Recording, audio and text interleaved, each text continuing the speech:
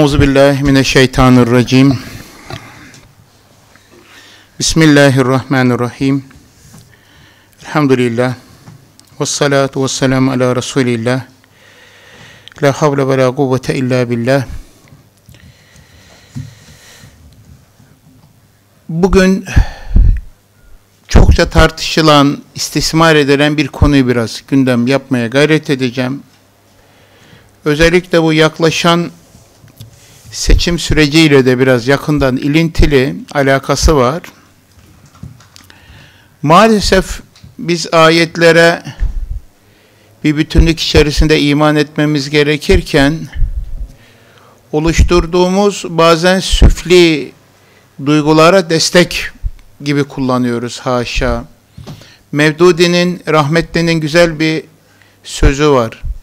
Yani önce vahiy ortaya konacak, fikir vahiden neşet edecek. Biz fikri oluşturuyoruz, sonra arkasından destek aramaya çalışıyoruz. Bu da yanlışlara götürüyor. Şimdi Rum suresinden ayetler okuyacağım.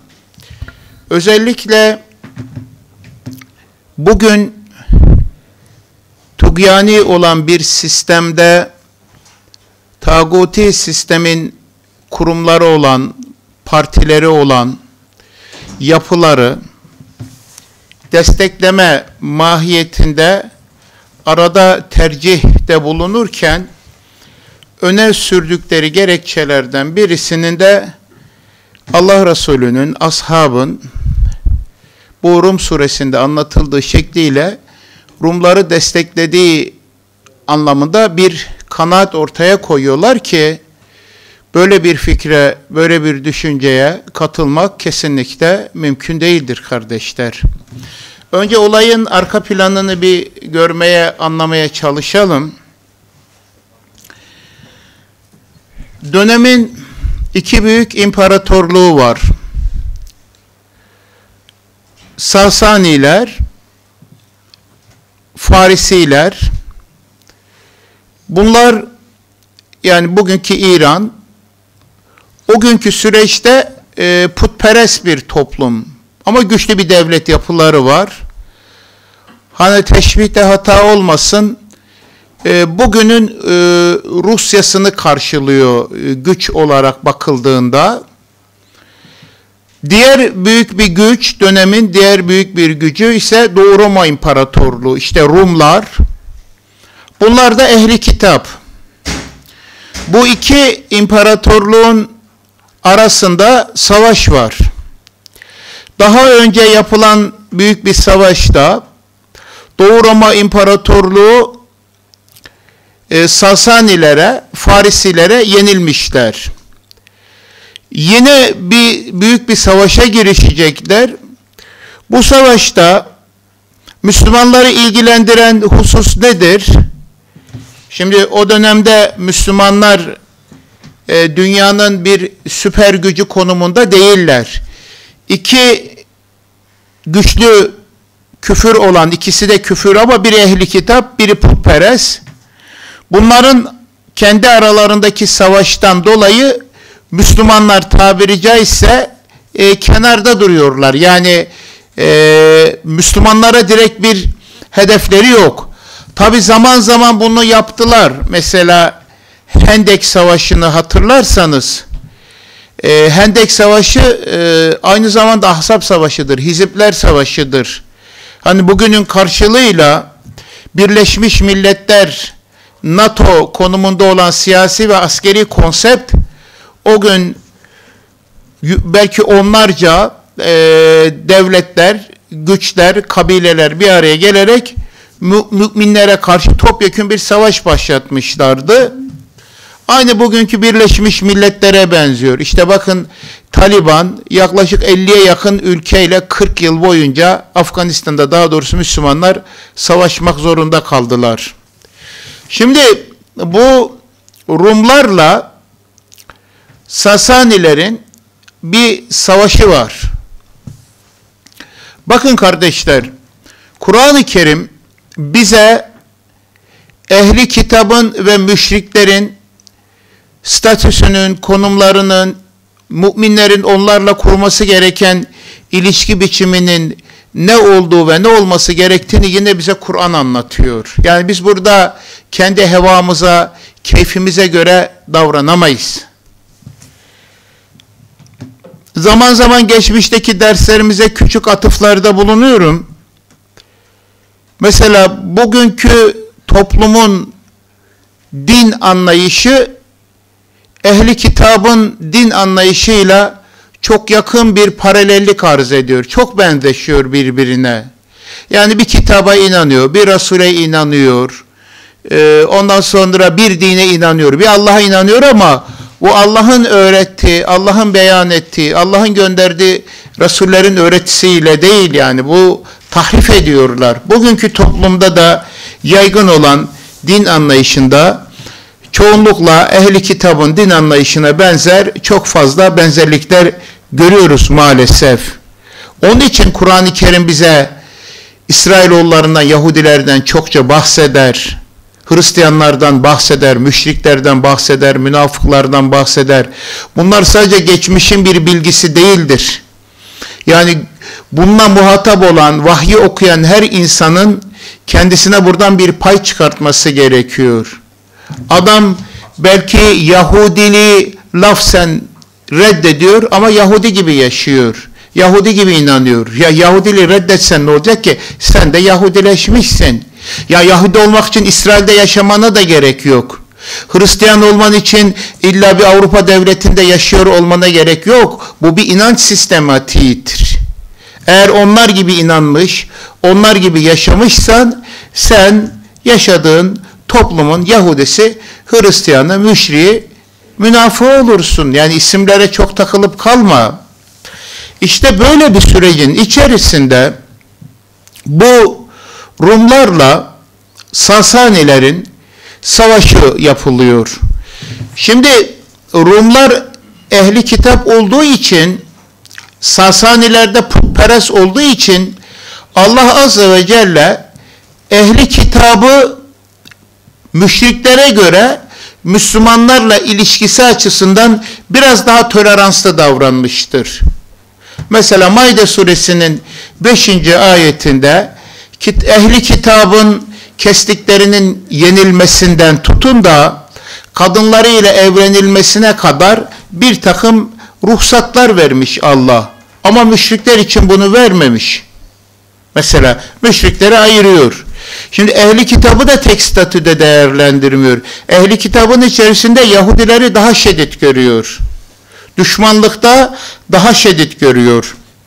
Müminlerin Yahudilere karşı daha ihtiyatlı, daha temkinli, daha dikkatli olması gerektiğini anlatıyor.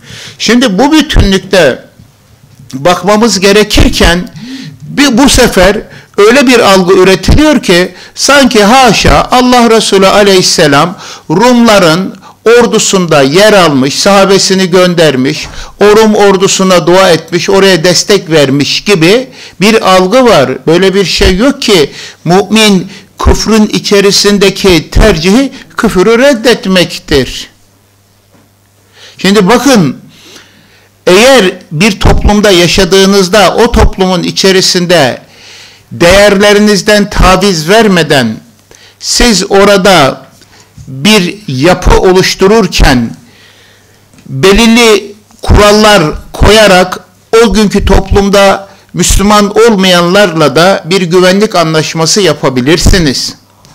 Resulullah Aleyhisselam Medine'de ehli kitapla hem Yahudilerin de hem de Hristiyanların da bulunduğu o ortamda bir Medine vesikası, Medine sözleşmesi yapmıştı. Onun gerekçesi de neydi? Müminler Mekke'den Medine'ye hicret edince o hicretten sonra tehdit bitmiş değildi. Hatırlayın müşriklerin temsilcileri ta Habeşistan'a hicrete giden müminleri bile oradan alıp getirip e, eza etmek, onları öldürmek istiyorlardı. Yani hayat hakkı tanımıyordu bak. Yaşadığı bölgeden gitmiş yine müsaade etmiyor. Ta Habeşistan'a gitmiş. Yani Habeşistan'a bugünkü e, Etiyopya ta oraya kadar gitmiş ama yine yaşam hakkı vermiyor. Aynı bugün Amerika'nın e, Somali'de, e, Mali'de, Gana'da, e, Nijerya'da Müslüman gruplara yaşam hakkı vermemesi gibi 10 bin 12 bin kilometre ötede Amerika'dan orada tabi şimdikiler daha donanımlı e, orada öldürüyorlar ve bu e, işgal, bu zulüm, bu terörizm görülmüyor.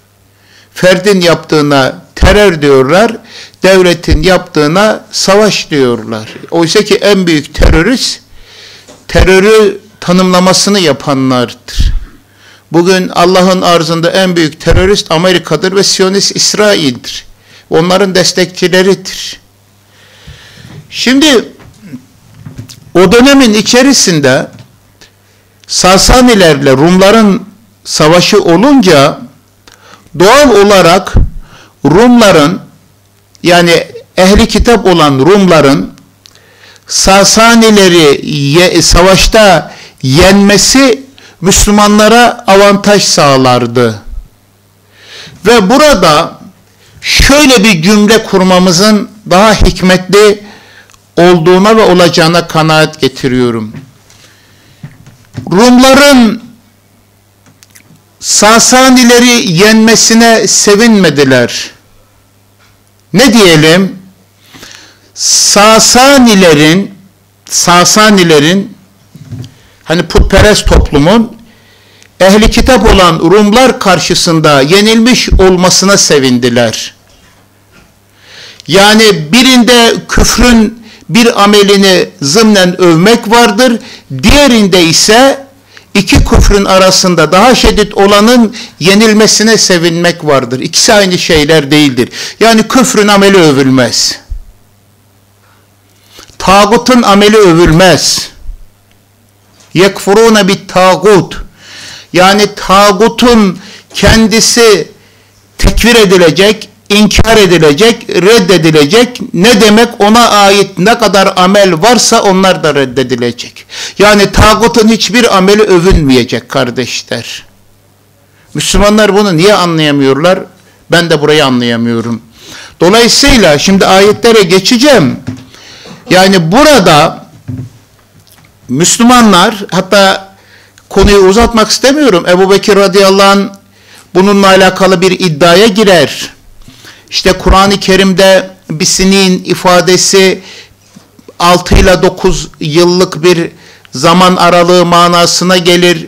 İşte Ebu Bekir'in orada bu savaş arefesinde olmadan önce e, bir iddiaya girmesi meselesi falan vardır. Şimdi ayetlere baktığımızda ayete geçmeden şunu görmemiz lazım. Bir kere gelişen hiçbir olaya karşı bizim duyarsız kalmamız mümkün değildir. Şimdi bugün Amerika ile Rusya savaşsa biz hanginden yana taraf alırız? İkisi de ehli küfürdür. İkisinden yana da taraf olmayız. Yani biz küfürde tercihimizi reddiye üzerine kurarız. Çünkü ehli küfürün, ehli şirkin, ehli zulmün eftali olmaz. Yani maslahat İslam'ın salahı içerisinde gözetilmelidir. Ehveni şer bir kere fıkıhta bile ameli konulara hasredilmişken akideye, imana taalluk eden bir mesele de ehveni şer olmaz. Zaten bir de şerrin ehveni ne kadar olur ona da ayrı bir başlıkta el almak, değerlendirmek gerekiyor. Bu yönüyle baktığımızda o günün iki süper gücü birbiriyle savaşırken tabiri caizse Müslümanlar aradan sıyrılıyorlar. Bugün de aslında ehli küfrün asimetrik, paralel ya da psikolojik manipülatif savaşları var. Yani şu an savaşların boyutu, şekli, ebatı biraz değişti. Yani soğuk savaş denilen bir süreç başladı. Psikolojik savaş başladı. Hatta bununla alakalı psikolojik harp teknolojileri taktikleri geliştirmeye başladılar. Ve genellikle biz bu algı manipülasyonuna mağlup olarak onları yenilmez bir armada gibi görüyoruz. Yenilmez ordu gibi görüyoruz. Siyonist İsrail için ne diyorlardı? İşte yenilmez ordu falan. Mavi Marmara'da vilada sopalarıyla Siyonist askerleri dövdüler. Ee, oradaki Müslümanlar. Tabi Mavi Marmara ayrı bir konudur ama yani görüyorsunuz altlarına affedersiniz işiyorlar. Silahsız insanlara karşı korkuları var. Çünkü Allah Azze ve Celle kalplerine korku vermiş. Müminlerin kalplerine de surur vermiş. Sekinet vermiş. Onun için silah her şey değildir. Güç izafidir. Yani şimdi siz böyle batıl bir kıyası nasıl yapıyorsunuz? Yani Allah Resulü Aleyhisselam Rum ordusuna sahabeyi mi vermiş gidin savaşın diye? Onlara taktik mi vermiş? Onlara istihbarat mı vermiş? Lojistik destek mi vermiş? Siz nasıl böyle bir e, kıyas yapıyorsunuz?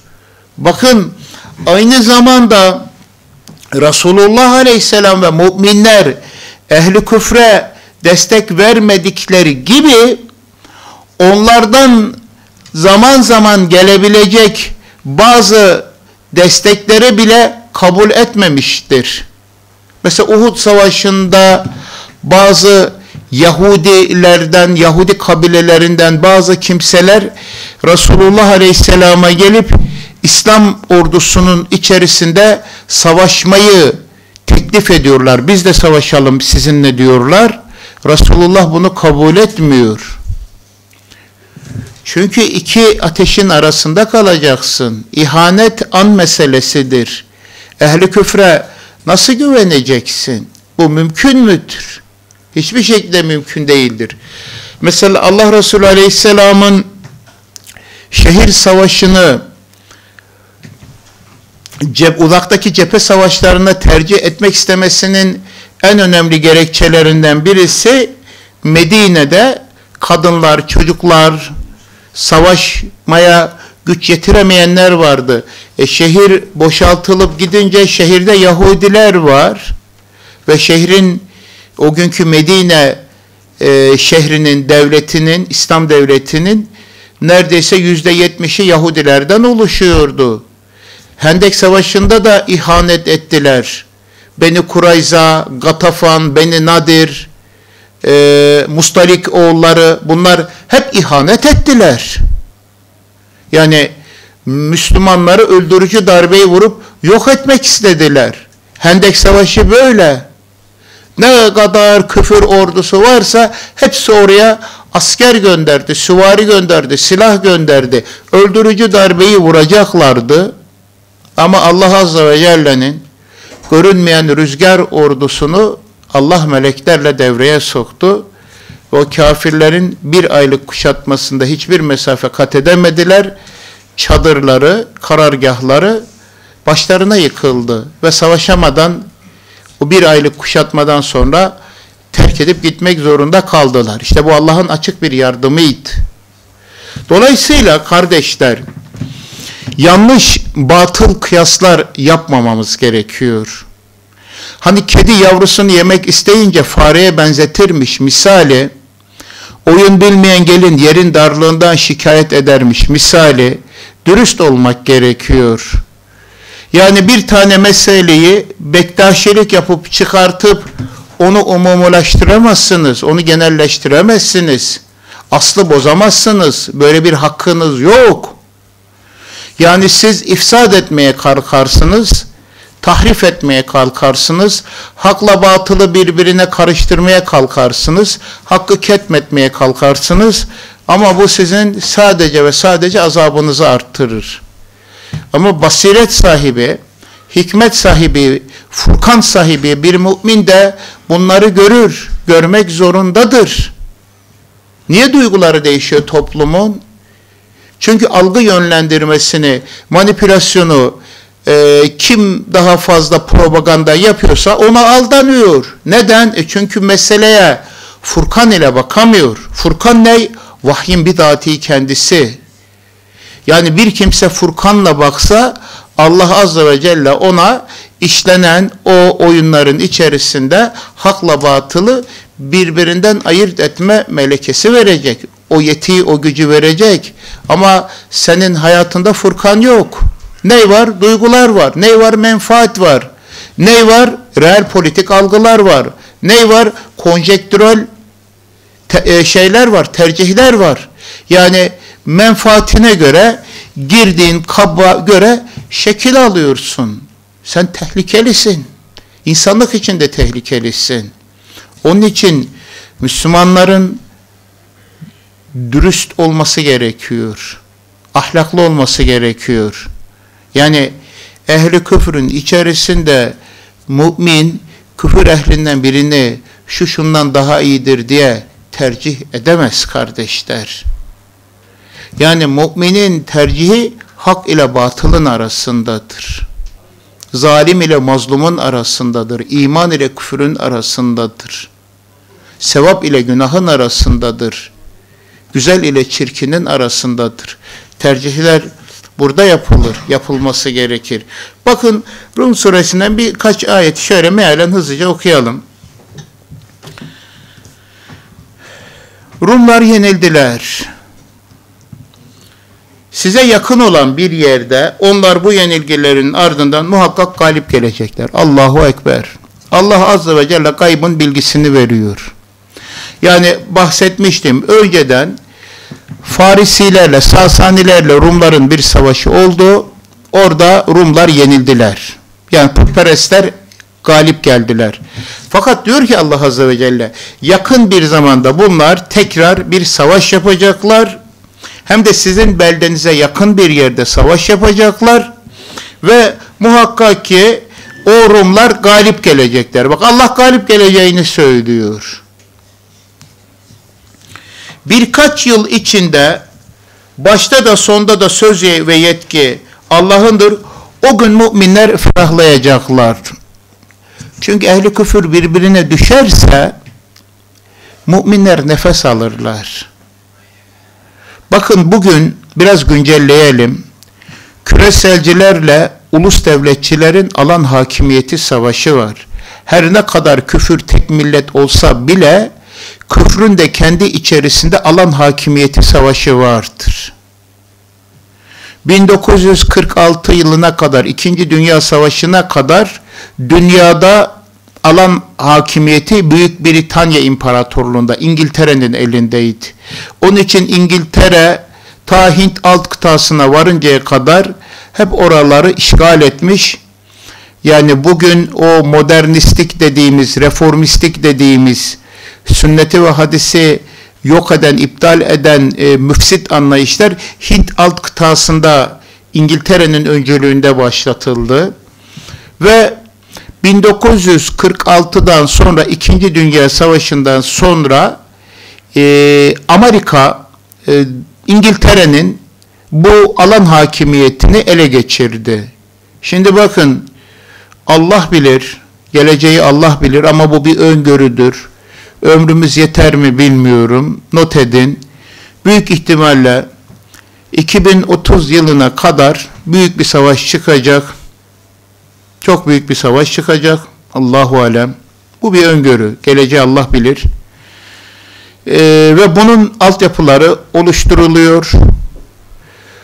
Ee, son birkaç yıldır iblislerin büyük dünya devleti projesi özellikle bu üretilen sahte e, virüsler Ebola'dan tutun, kuş gribinden, domuz gribinden, e, işte bugün hayvanların tekrar hastalandırılmasına, şab hastalıklarına, şu Covid süreci kimseyi inandıramıyorduk. Bizimle alay ediyorlardı. Müslümanlar dedik, ihtiyatlı olun, temkinli olun. Yani bir kere alemlerin Rabbi olan Allah var, ona güvenin. Bakın tevhidi anlayış burada maalesef üzülerek söylüyorum çoğu yapı ve şahısta fire vermiştir. Sloganik bir tevhidi söylem olmaz kardeşim. Tevhid dediğin vakitte hayatın her zerresinde, ekonomisinden, ticaretinden, iktisadından, siyasetinden, hukukundan, eğitiminden, ukbasına varacak her alana kadar yetki, belirleyicilik, tasarruf ve müdahale Allah'a aittir. Onun için egemenlik ve otorite Allah'a aittir. Siz egemenliği, otoriteyi Allah'a sınırlı sayıda veriyorsunuz. NATO'ya güveniyorsunuz. Dünya Sağlık Örgütü'ne güveniyorsunuz. Birleşmiş Milletler'e güveniyorsunuz. OECD'ye güveniyorsunuz. IMF'e güveniyorsunuz. Parası, parası, silahı ve medyası olanlara güveniyorsunuz. Bunların hepsinin de Rabbi Allah'tır. Bunların hepsinin Rabbi Allah'tır. Bunların hepsi zelildir, acizdir. Güven Allah'a. Allah'a güven. Bak Allah sana nasıl bir yol açacak. Ve işin garip tarafı kardeşler başkent İstanbul seçtiler biliyor musunuz?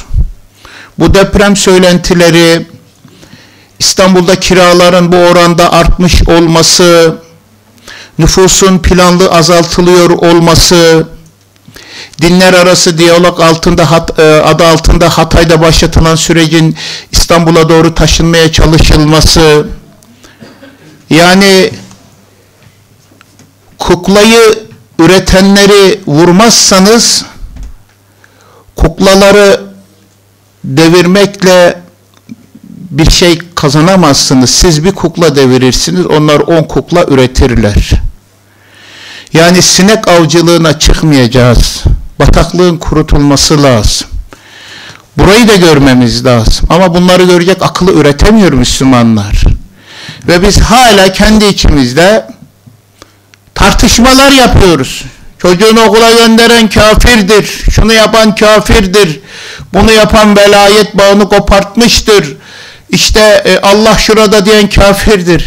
Bizim tartıştığımız bunlar ehli küfür, ehli şirk, ehli zulüm hayatın her zerresine sirayet etti ve maalesef buralarda Müslümanların bir sözü yok. Bir aklı yok, bir iradesi yok, bir tavrı yok. Sen nesin o zaman? Kurşun askersin. Konu mankenisin. Masanın üstünde alır, figüran olarak seni oraya koy, oraya koy. Sen film gibi izlersin. Aynı işi 50 kere yapar, farklı sonuçlar beklemeye çalışırsın. Ve bu akıllı insanların işi değildir. Niye görmüyoruz?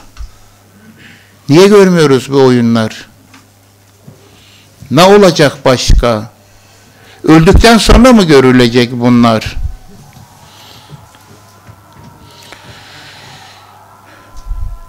Eğer o dönemin içerisinde o ehli küfür kendi arasında Allahu alem savaşmasaydı ve müminler o gün Allah Resulü'nün önderliğinde hikmetli bir yolu, süreci takip etmeselerdi belki İslam devleti olmayacaktı. Or oradan aradan sıyrıldılar. Bakın biz şu anda şu anda Allah'ın arzında hiçbir sözümüzün geçtiği yer yok. İşte bir Afganistan diyoruz. Bakalım ne çıkacak. Onların da bazı zaafları, oturtturamadıkları bazı konular var ama Allah hakkı görmeyi ve uygulamayı nasip eylesin. Dua ediyoruz. Dua ediyoruz. Dün Ramazan'la alakalı hilalle alakalı Afganistan'dan da bilgi geldi. Millet mukni olsun, ikna yani kalbi mutmain olsun diye sosyal medyadaki paylaşımın altına e, Taliban e, hükümetinin resmi açıklamasını da oraya koydum. Bir aklı evvel gelmiş e, bu müşrik Taliban'ın görüşleriyle mi şey yapıyorsunuz e, Ramazan bayramı yapacaksınız. Şimdi sen buna ne cevap vereceksin? Sorsan muvahhid işi de bu yani. Yani bu belki hayatında bir tarz zararlı bir sineği öldürememiştir yani. Ya biz bu aklı inşa edemiyoruz. Bakın Resulullah aleyhisselam halkı direkt hiç karşısına almadı. Halklar güce teslim olurlar. Ama gücü adaletle müminler güce teslim olmazlar. Müminler gücü kuşanmak isterler ama güce adalet elbisesi giydirirler. Eğer güçte adalet yoksa o Allah'ın razı olduğu bir güç değildir. Ama güç dönüştürücüdür. Güç aynı zamanda zehirleyicidir. Yani ne zehirleyin ne zehirlenin. Bize adalet gerekiyor. Allah'ın arzında da adaleti müminler uygulayabilir. Kafirler adalet uygulayamazlar. Böyle bir hakları yok. Allah'ın yardımıyla o dilediğine yardım eder. O çok güçlüdür, çok merhametlidir. Bu Allah'ın sözüdür. Allah vaadinden caymaz. Ancak insanların çoğunluğu bunu bilmezler. Şimdi bu ayetlerin neresinde Allah azze ve celle müminleri gidin Rumlara yardım edin, destek verin de hiçbir ibare gördünüz mü? E, Resulullah aleyhisselam ashabına böyle bir e, talimat verdi mi? E, vermedi. Siz nereden çıkartıyorsunuz bunu? Cımbızlama yapıyorsunuz. Anlam tahrifatına uğratıyorsunuz. Yusuf aleyhisselamı da böyle yaptınız. Allah'ın aziz, seçkin, sevgili bir kulu Resulü olan Yusuf aleyhisselamı kendi şirk mantığınıza kurban ettiniz. Allah'a iftira ettiniz. Şehvetlerinin uçkurlarının peşine düşenler Hazreti Yusuf'u ayrı kurban ettiler. Züleyha aşk. Sanki Yusuf suresi aşk suresi. Haşa. Neuzubillah. İki zümre ifsada uğrattı. Yusuf aleyhisselam anlayışını. Bir bu şehvet perestler. iki şirk perestler. Yani siyasal iktidarlardan nemalanmak isteyenler Yusuf Aleyhisselam'ı burada kullandılar. Ya insan hiç mi Allah'tan korkmaz ya? Hiç mi Allah'ın ayetlerini okumaz ya? Yusuf Aleyhisselam'ın bakın kardeşler ezan da okudu ama nasıl olsa bayram fazla bir işiniz yoktur herhalde. Aynen. İşe işe falan gitme imkanınız yoktur herhalde değil mi? Biraz vaktimiz vardır. Korkmayın. E, son yarım saatimiz fazla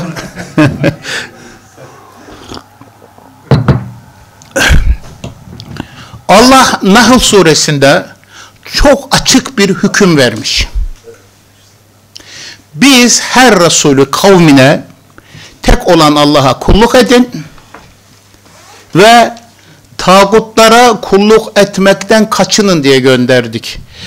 Ve bunu Allah vahiy ile sabit kılmışken sen tutuyorsun Allah'ın seçtiği Resulü olan Yusuf aleyhisselamı bir tağutun emrine girdiğini iddia ediyorsun ve bir tağutun emri altında çalıştığını iddia ediyorsun öyle mi? Vallahi bu hem Allah'a iftiradır hem Allah'ın Resulüne iftiradır hem de Allah'ın dinine iftiradır. Böyle bir şey olmamıştır. Olması da mümkün değildir. Bu dinin yalanlanmasıdır. Bakın kardeşler Allah Azze ve Celle Yusuf aleyhisselama sınırsız bir yetki veriyor. Aslında Yusuf aleyhisselamın kıssası o kadar muazzam bir mesajı veriyor ki mesaj bağlamından kopartılıp Bektaşi gibi parçacı atomik yaklaşımlarla yaklaştığınızda bu sefer Allah korusun Allah'ın ayetleri destek olması gerekirken sanki haşa bir tahrifata, anlam tahrifatına dönüştürüyor. Ben bir kart vizit gördüm. Bedir Savaşı'nda o oku atarken sen atmadın Allah attı ayetini almış adam e, oy sandığına oy atarken bu ayeti yapıştırmış. Atarken sen atmadın. Yani Kemalist sistemi partisine oy atanla müşriye e, ok fırlatanı eşitlemiş. Şimdi bu ne demek? Bu Allah'ın ayetleriyle alay etmektir. Bu Yahudileşmedir işte. Bir, Yusuf Aleyhisselam'ın başındaki melik için Kur'an hiçbir yerde tağut kavramını kullanmaz. İki, hiçbir zaman için hiçbir Resulün ben peygamberler ve tevhid mücadelesini ta Adem Aleyhisselam'dan Muhammed Aleyhisselam'a kadar vahiy üzerinden ders yaptım. Kayıtlı olarak duruyor. Yıllarca ben bu konularda araştırma yaptım. Hiçbir yerde Allah'ın bir Resulünü o günkü bir sistemle en küçük uzlaşı içerisine girdiğini görmek mümkün değildir. Resuller müşriklerle en küçük bir tavizkarlığa, en küçük bir uzlaşı içerisine girmemiştir. Girse ne olurdu? Allah can damarını kopartırdı. Öyle bir hak vermiyor. Hatta hatta bakın kasıtlı değil belki duygusal olarak karşı tarafın ayartıcı, cezbedici tekliflerinin cazibesine kapılabilir. Belki kendince bir usul belirleyebilir. Bakın İsra suresi 75-80 aralığındaki ayetleri okuyun. Orada çok açık göreceksiniz. Yani neredeyse e, onlar seni ayartacaktı. Yani onlar sana öyle teklifler getirdiler ki sen neredeyse az kalsın onlara meyledecektin. Subhanallah. Hakka 44, 45, 46'da ne diyor? Muhammed Aleyhisselam için. Sana vahyettiğimiz vahyi onlara ulaştırmaz ve onların ayartıcı dürtülerinden etkilenecek olursan senin can damarını kopartırız diyor Allah. Allah azze ve celle Resulüne dahi böyle bir yetki vermiyor. Sen babanın malını mı kullanıyorsun ya? Bir de çıkıyorsun Allah'ın dininden bahsediyorsun. Saptırıcısın. Aldatıcısın, kandırıcısın.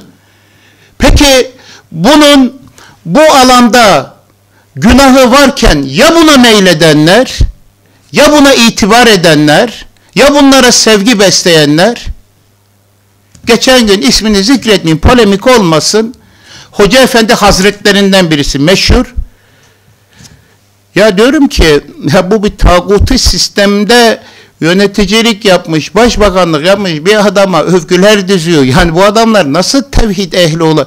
E hocam diyor, e, alimdir diyor, iştihatıdır diyor. Bak mübalağa yapmıyorum ha, vallahi böyle diyor. Yani düşünebiliyor musunuz? Dedim ki icdihat delillerdeki saklı olan hükmün açığa çıkartılma ameliyesidir. Kur'an ve sünnetin hüküm verdiği bir yerde icdihat olmaz. Şimdi her şey birbirine karıştırılmış. E sen bilmezsen ne olacak? Uyduk hazır olan imamı er kişi niyetine. Nasıl bilirdiniz? İyi bilirdik. İyi bilirdiniz. Ama biz iyi bilmeyiz. Çünkü sen de iyi olmadığın için iyi biliyorsun. Bodacının şahidi şıracıdır. Dürüst olacağız, ahlaklı olacağız, Allah'ın dininden taviz vermeyeceğiz, eğip bükmeyeceğiz, eğip bükenlere malzeme vermeyeceğiz, fırsat vermeyeceğiz, hesap soracağız Allah için. Sen bunu hangi gerekçeyle dillendiriyorsun? Getir bana kardeşim delilini diyeceksin, getir. Hevandan konuşma, bana eğer Allah'ın dininden bahsediyorsan Allah'ın dininden delil getir. Niye delil sormuyorsunuz? Hocamızdır işte, varsa öyle dedi, vardır bir bildiği. İşte endat ediniyorsun. Rab ediniyorsun. Adi bin Hatem öyle diyor. Bitiriyorum. Tevbe 31'i Resulullah tefsir ederken onlar Meryem oğlu İsa'yı hahamlarını ve rahiplerini Rablar edindiler ayetini okuyunca Adi bin Hatem hem Tevrat'a hem İncil'e hakim olan bir sahabi diyor ki ey Allah'ın Resulü onları biz o zaman Rab edinmezdik. Peki onların haram dediğini haram, helal dediğini helal kabul etmez miydiniz? Öyle yapardık ya Resulallah. Onları Rab edinirdiniz diyor. Subhanallah. Din Allah ve Resulünden gelir. Başka yerden din gelmez. Başka yerden dinin yorumu gelir. Başka yerden gelecek olan yoruma da Allah ve Resulüne bakarız. Orada bir onay var mı? Orada bir rafine ederiz. Orada bir onu delillendiririz. Onunla bir illetini, bir bağını kurarız. Eğer Allah ve Resulünün getirdiğiyle çatışıyorsa, bütün dünya ittifak etse biz onu reddederiz.